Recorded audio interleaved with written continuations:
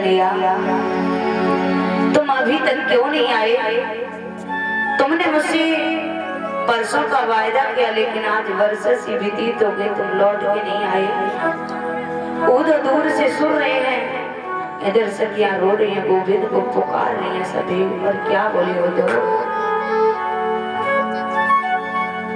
कि तुम अब तक क्यों ना मेरे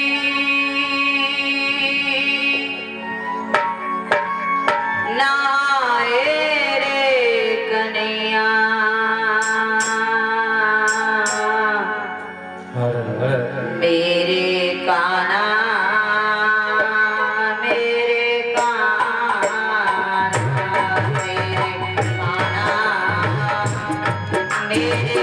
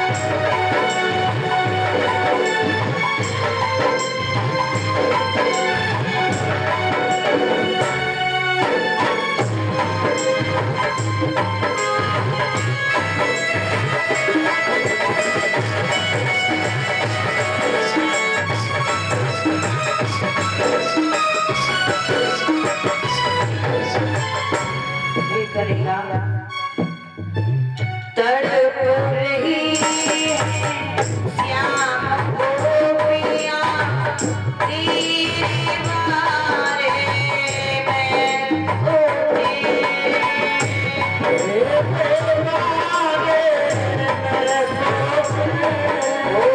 तड़प रही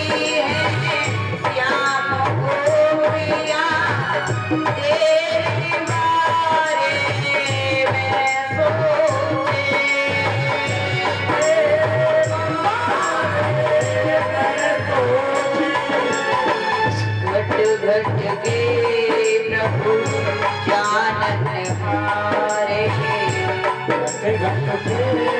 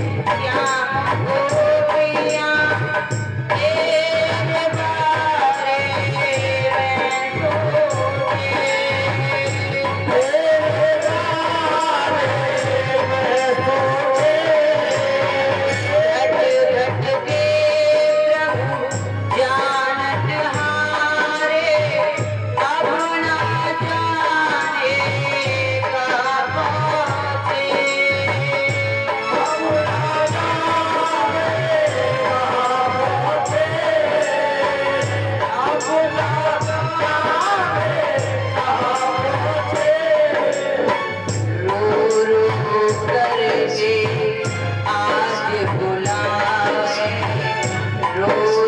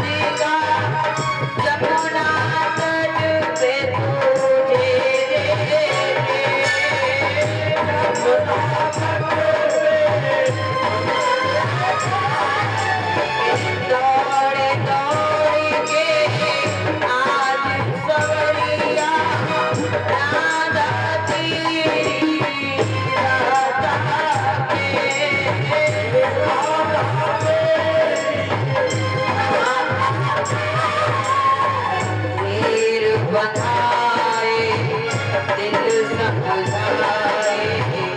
you.